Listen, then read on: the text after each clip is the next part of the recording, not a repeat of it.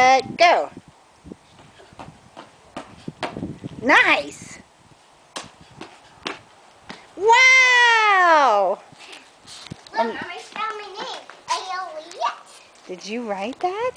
Yep. With my own. And um, where are you? Um, at the um sidewalk shop. Side, but whose house are you at? So what do you tell them? Thank you for thank you for letting me use your patio. Yeah. Go on. Thank you.